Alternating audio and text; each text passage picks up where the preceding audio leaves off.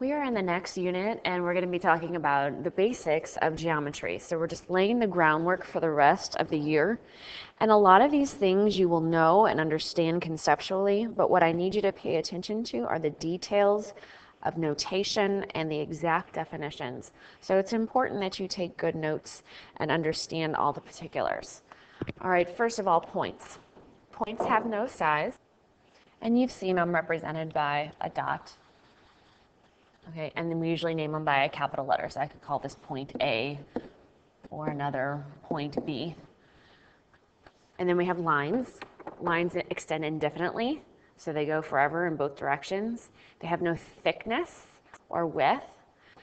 And we, the way we represent them with notation is we are going to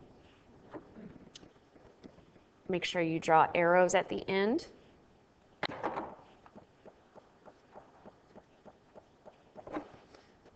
So make sure you're careful with that. If you don't draw arrows, it'll look like a segment. And then the way we name them, identify them, is with either a lowercase script letter. So you see how this line is depicted by the lowercase m, or um, by two capital letters. And those capital letters are actually points that are on the line. So if I have point A and B on that line, I would name this AB. And notice when I name the line AB, that I have a line with arrows over the top of it. So pay attention to that as well when you're labeling things. And then we have a plane, which is a flat surface, and that flat surface extends indefinitely in all directions, and it has no thickness. Um, it's often represented by a parallelogram, so you can see these blue parallelograms. That's how you'll see them in the book quite often.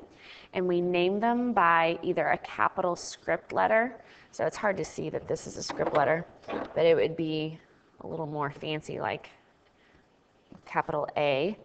Or we can use three points that are on that plane. And notice that those points are not all on the same line. They're not in a row. So I can name this plane BMT. Okay, so this would be plane A or plane BMT. A, a lot of times too, we'll use planes when we are using uh, cubes and boxes and things like that. So I might have the plane of this top surface of the box. Okay. Or you could have the front of the box be a plane. All right, and then space. Space, when we say space, it's just a boundless three-dimensional set of all points. So if, if anytime you see that word, it just means all um, three-dimensional space that we're talking about. And then here are two other very important words, coplanar. Coplanar, that prefix co, if you think about other words that have the prefix co, like um, co-chair or co-captain, that means you share that position, right? If you are co-chair, two people share the position of chairperson. Um, if you are co-captain, two people share that position of captain. So if you're coplanar, those are going to be points, two or more points that lie on the same plane. Okay, so that they share the same plane. So I want you to think co means share. So for example, um, in this diagram, A and B and G are all on that top plane. A, G, and B are all in that top plane of that cube. In fact, so is F. So we could say all of those are coplanar. And there are several other ways we, other points that are coplanar. I'm just giving you one example. So having said that, now that we're looking at the word collinear, co means share and linear, so that means a line. So it's going to be points that, sh that uh, share the same line. So and you can replace that with share if that makes more sense to you. So for example, in this uh, cube, if I extend this, this is a line. E and C are collinear. They share the same line.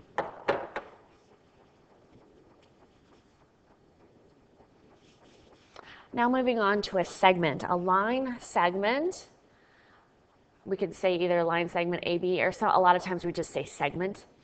Um, we write it as AB. Do you see this right here? AB with a bar over it. Do you notice how it does not have arrows? So that's why it's so important to put arrows when you mean a line and no arrows when you mean a line segment. And that consists of endpoints. So we don't have arrows because a segment stops, starts and stops at its two endpoints.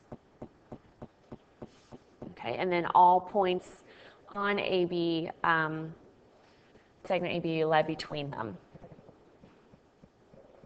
Okay, another uh, thing to note, we say that we could call that AB. You could also reverse it. It doesn't matter which order you write those points in.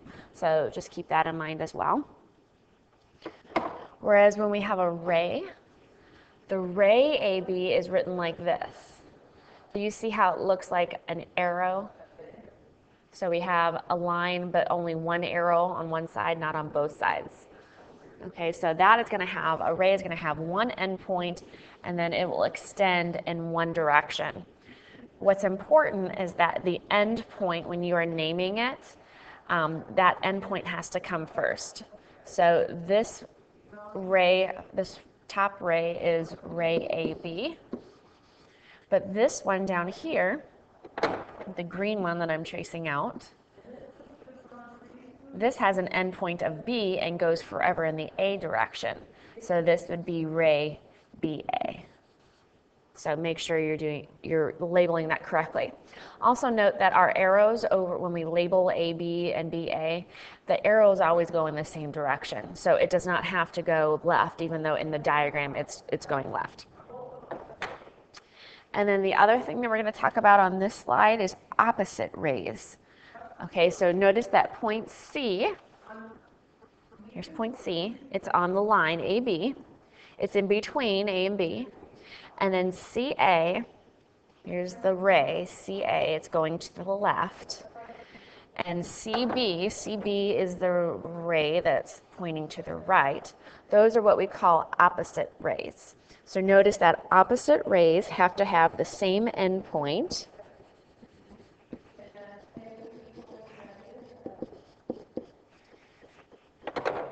and they and the rays have to be on the same line. Okay, they kind of go in opposite directions.